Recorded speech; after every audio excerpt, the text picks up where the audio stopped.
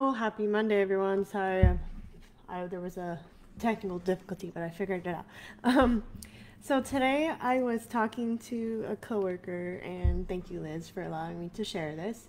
Um, but she is new to where I work full time, and she took this job because she's worked for Disney for nearly 30 years, and because of the pandemic, she has not been called back to work yet.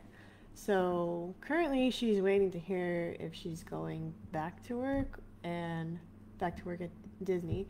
Um, and she shared with me how she's nervous, not knowing what's going to happen, because she doesn't want to have to leave this position that she just accepted. Um, but she's been at Disney for so many years. So I was asking her what I should talk about today on here. And then she shared that with me, and it sparked this discussion about being nervous about something you don't know the outcome of. Um, so sometimes this stops us from making progress or creates unnecessary worry, fear, and anxiety.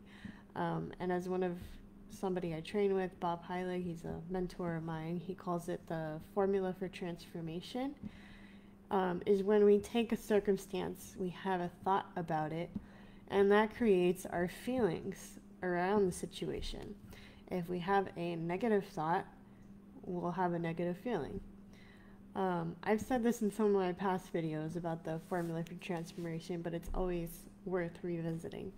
So, for so many people, especially this year, there is so much fear and uncertainty and things outside of our control.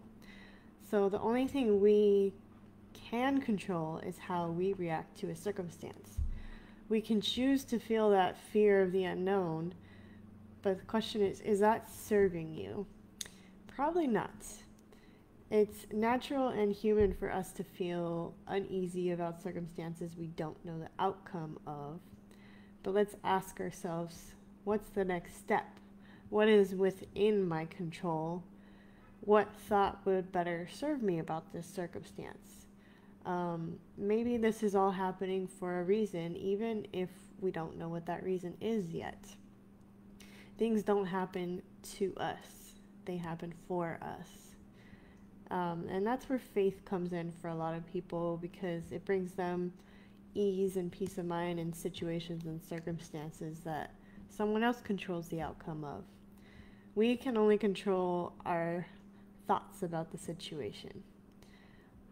So, a couple of great books I recommend reading or listening to um, to ha- how to change your thoughts around circumstances are um, What to Say When You Talk to Yourself and The Secret Code of Success. Both of those books dive a little deeper on um, better questions to ask yourself around a situation to help you think of it in more of a positive light. And then what to say when you talk to, your, to yourself is um, kind of similar to that. But um, I hope that helped a little bit today, and I thank you for watching, and I will see you next week.